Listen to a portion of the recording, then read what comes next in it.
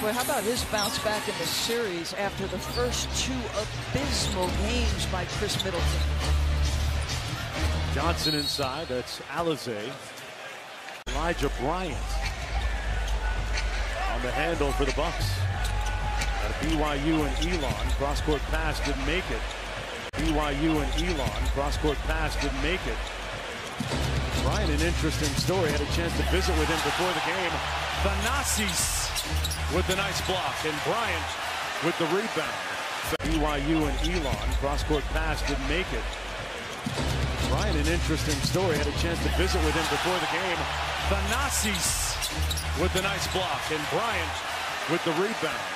BYU and Elon. Cross-court pass didn't make it.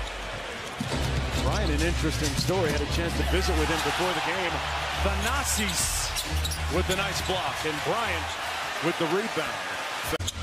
Into the paint with the left hand. And the Frenchman with a soft touch.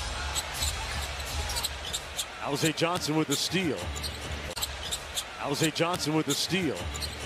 About two and a half minutes to go. Perry on the drive. Johnson with the rebound. And that's going to be a goaltend. About two and a half minutes to go. Perry on the drive.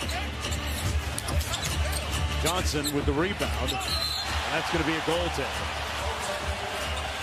At Torrey Pines. Here's Thanasis. Well, Don Nelson was the guy who identified Luka as, in his words, by far the best player in that draft class. I'll say this about Thanasis Antetokounmpo. I love his energy. He's played in the EuroLeague and played big minutes on elite teams over there.